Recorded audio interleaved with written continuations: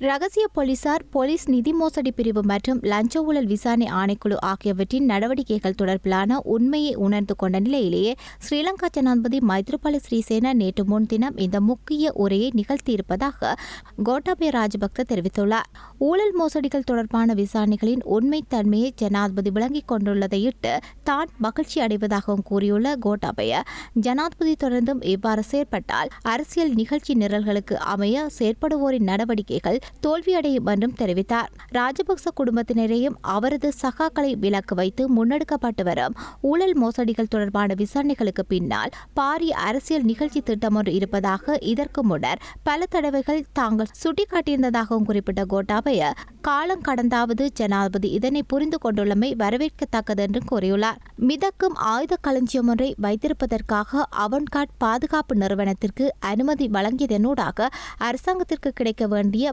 பதினோரு தசம் நான்கு பில்லியன் ரூபாய் நட்டத்தை ஏற்படுத்தியதாக தெரிவித்து லஞ்ச ஊழல் விசாரணை ஆணைக்குழு கோட்டாபய ராஜபக்சவிற்கு எதிராக வழக்கு தாக்கல் செய்துள்ளது.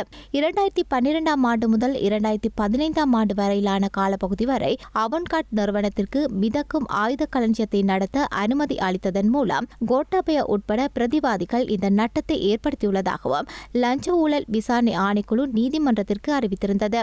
அதேவேளை முன்னாள் கடற்படை தளபதிகள் மூவரும் அவன்காட் பாதுகாப்பு நிறுவனத்தின் ஆலோசகர்களாக கடமையாற்றியதன் மூலம் இந்த மோசடிக்கு துணை போயிருந்ததாலேயே அவர்களையும் நீதிமன்றத்துக்கு அழைத்திருந்ததாகவும் லஞ்ச ஊழல் விசாரணை ஆணைக்குழு தெரிவித்திருந்தது.